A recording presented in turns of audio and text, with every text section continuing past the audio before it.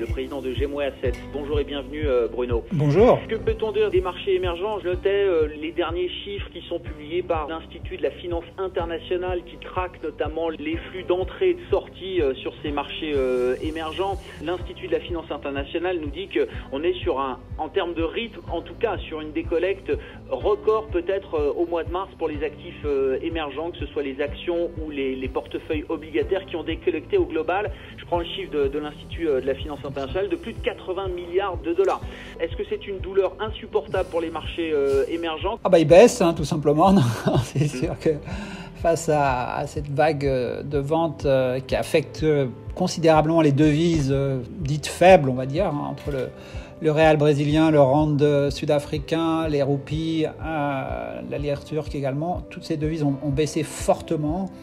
Euh, les marchés également. L'Inde a baissé euh, quasiment en free fall euh, pendant trois semaines sur les trois dernières semaines de mars. L'inquiétude, bien sûr, sur le, Covid-19 dans, ces pays est, est, la principale cause. Et puis, clairement, une, un risque de, défaut, pas forcément sur le Brésil ou, euh, sur l'Inde ou sur la Russie, hein, mais, mais c'est vrai que l'Afrique du Sud a été downgradée deux fois, l'Argentine est quasiment en défaut, euh, la Turquie a une dette en, devise euh, importante, il y a indéniablement des risques. On le voit effectivement de, fortes sorties sur, les, sur, les, sur les obligations qui est souvent un signe d'inquiétude de, de, paiement. Des, pays comme le Brésil, l'Inde, la Turquie, que vous avez cités comme étant des, pays à risque aujourd'hui d'un point de vue sanitaire, euh, Bruno, euh, euh, malheureusement on suit ça de très très loin, mais oui c'est une catastrophe sanitaire qui attend ces pays aujourd'hui, et qui dit catastrophe sanitaire dans des pays comme l'Inde, le Brésil, la Turquie, ça veut dire des, des phénomènes économiques de dépression beaucoup plus sévères que ce qu'on peut imaginer par rapport à nos pays développés, nos économies développées, avec beaucoup moins de protection. Là, on est dans un cercle vraiment très très compliqué pour ces pays-là aujourd'hui. Euh, alors, euh, oui et non quand même. Hein. Bon, alors, nous n'oublions pas que la population de ces, ces pays est très jeune hein, quand même. Donc, euh, et on le voit pour les chiffres qu'on a aujourd'hui. Alors, c'est sûr que c'est, on est un peu au début, hein, donc c'est encore difficile de, de, faire des projections très rassurantes ou très négatives. Mais, mais clairement, on n'a pas la, on n'a pas exactement la même,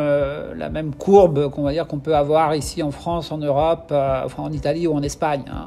Elle est plus lente et mais indéniablement, elle crée une incertitude. De fait, les autorités indiennes ont pris des mesures euh, drastiques, hein, clairement, il y a quelques jours déjà.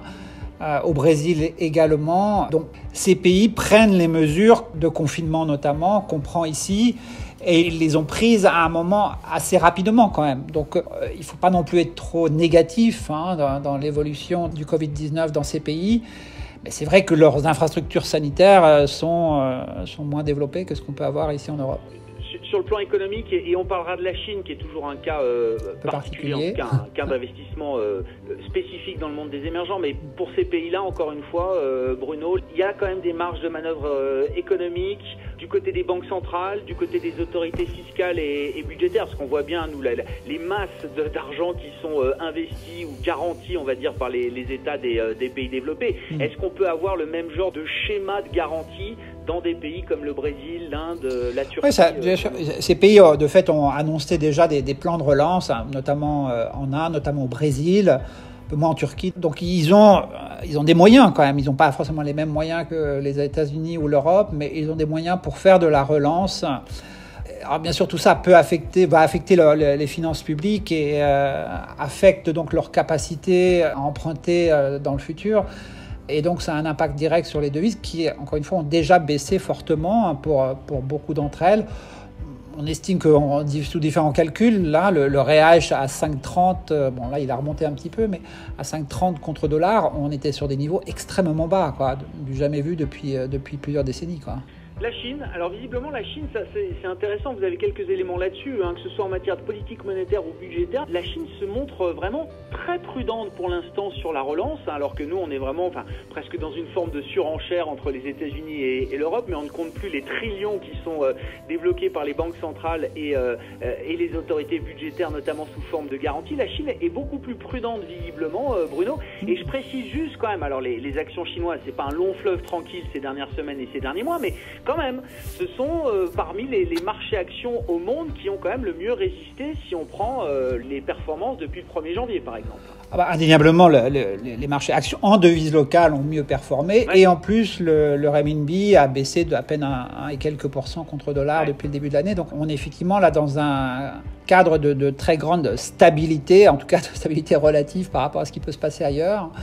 Euh, de fait, les marchés actions Shanghai Shenzhen sont parmi les, meilleurs cette année, même si on baisse encore un petit peu quand même. On est, en large surperformance, y compris contre les marchés européens et les marchés américains. Bien évidemment, pour, ce qui est du Covid-19, la, situation a l'air d'être euh, maîtrisée. Hein, c'est quand même une très très bonne nouvelle. Hein. C'est un pays qui a été fortement touché, rappelez-vous, il y a un mois quand même. Donc, il nous prouve d'une certaine manière qu'avec des, mesures extrêmement drastiques hein, de confinement, je rappelle que la ville de Wuhan était totalement fermée hein, pendant plusieurs semaines. On a des résultats. C'est vrai qu'on on a des résultats positifs depuis plusieurs euh, semaines maintenant et que l'activité reprend lentement son cours. Quoi. Euh, on a divers indicateurs, diverses personnes qui nous parlent de cette reprise, euh, pas totale, mais en tout cas qui est dans, la bonne direction. Quoi.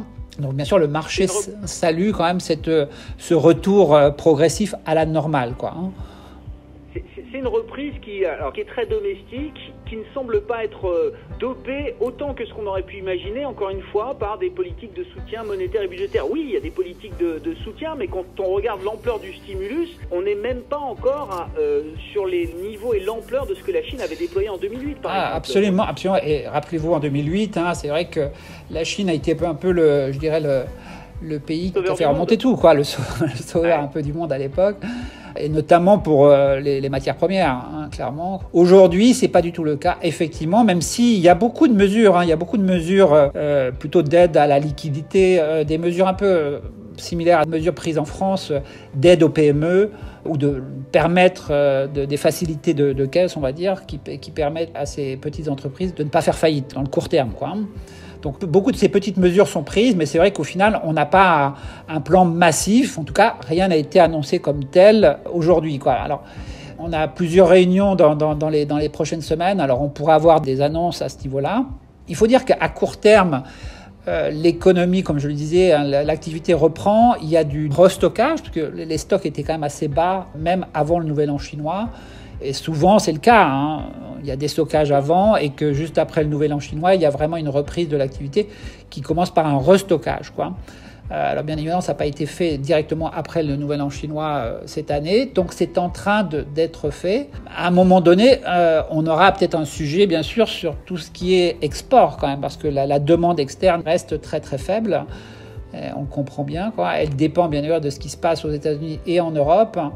Euh, alors ça peut aller très vite tout ça, hein. peut-être que nous on ira beaucoup mieux dès les, semaines prochaines et, euh, et, tout ça pourra peut-être se normaliser euh, au cours du deuxième trimestre, auquel cas la Chine n'aura pas forcément besoin d'un plan massif, mais je crois qu'aujourd'hui elle, conserve ses cartouches par rapport à une situation externe qui pourrait ne pas revenir pendant un certain nombre de mois. Hein. Donc là clairement elle joue la prudence. Et on le voit bien au niveau de sa devise et au niveau de son marché obligataire, de fait. Hein. C'est forcément une reprise beaucoup plus euh, domestique. Alors, je ne voudrais pas vous, bassiner avec le thème de la démondialisation parce qu'on on, l'entend partout aujourd'hui, euh, Bruno. Mais déjà, depuis plusieurs années, ceux qui investissent dans les marchés émergents investissent de plus en plus sur des thèmes domestiques. Et je crois que la, Chine, euh, en l'occurrence, est un, bon exemple. Mais vous avez le sentiment que ça va encore s'accélérer? Il restera quand même un peu de mondialisation après cette crise? Est-ce que ça reste toujours un thème d'investissement pour ceux qui investissent dans les émergents hein? La mondialisation, c'est quand même ce qui a porté le thème euh, émergent au cours de la, dernière décennie et même depuis plus longtemps encore, euh, Bruno.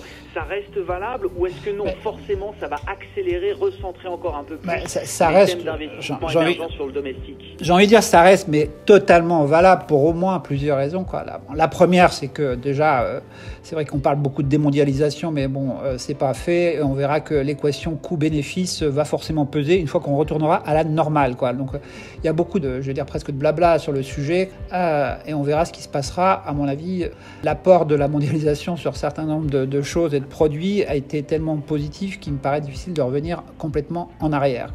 Ça, c'est le premier point. Le deuxième point, n'oublions pas que euh, si la mondialisation a une mauvaise presse euh, pour des, des, raisons diverses et variées en, en, France ou en Europe, elle n'a pas du tout forcément mauvaise presse ailleurs, et notamment en Chine. Et la Chine, le consommateur chinois, devient un driver très important de, l'économie mondiale, hein, au même titre que le, le consommateur américain l'a été au cours des dernières décennies. Or, le monde entre la Chine et les autres pays, notamment les pays asiatiques, mais aussi les pays émergents en général, ils n'ont pas un sujet euh, absolument négatif contre la mondialisation. Et donc une bonne partie du commerce mondial euh, peut-être se fera un peu moins à la marge avec euh, les Européens ou les Américains, pour les raisons qu'on évoque, encore que ce soit vraiment pas sûr du tout. Hein. Mais une bonne partie se fera entre les consommateurs de pays émergents, bien sûr avec le, consommateur chinois qui étant le principal driver. Et de ce point de vue-là, j'ai aucun problème pour voir encore pendant plusieurs années des chiffres de croissance intéressants il y a un, secteur, une industrie qui illustre peut-être bien encore ce, besoin de mondialisation qu'on a euh, aujourd'hui et, demain sans doute encore. Bruno, c'est le cycle des semi-conducteurs. Vous avez quelques éléments intéressants, je crois, sur les résultats de Samsung euh, Electronics, un des ouais, qui sortent euh, semi-conducteurs au monde, qui s'en sort très bien visiblement au premier trimestre. Voilà, bah, c'est vrai que là ils ont ils ont sorti en pré-release leur premier trimestre opérationnel en hausse de 3% sur le trimestre. Le profit opérationnel pardon, est tiré par la très bonne performance de la division semi-conducteur. On a un besoin de mémoire, de capacité de traitement euh, euh, qui ne se dément pas. Hein. C'est encore peut-être plus vrai dans les conditions dans lesquelles on travaille aujourd'hui que, que, ça l'était euh, avant le confinement. De fait, le cycle mémoire, le cycle de, des semi-conducteurs, notamment de la mémoire et du DRAM, du flash, qui était sur une, perspective de reprise à partir du premier trimestre de cette année, tout ça n'est pas remis en cause par le Covid-19 et c'est quand même une très très bonne chose. Euh, ça permet à Samsung, à Hynix de, de finalement s'en tirer d'une manière assez euh, intéressante. À un moment même où ces titres-là ont quand même baissé. Hein. Euh, Samsung, certes, ça n'a pas énormément baissé, mais ça baisse quand même de 12-13% en dollars depuis le, début de l'année. Alors ça a remonté un petit peu au cours des derniers jours. Mais clairement, à ce niveau-là, moi je trouve qu'il y a un niveau de valorisation qui est, qui est extrêmement intéressant. Et de fait, c'est peut-être un jeu, euh, un jeu marqué par le, saut de la, mondialisation, mais ça marche encore très bien. Merci pour ces paroles sages et votre analyse de marché. Bruno Vanier qui était avec nous euh, par téléphone, spécialiste de l'investissement en action dans les marchés émergents, président de Gemway Assets.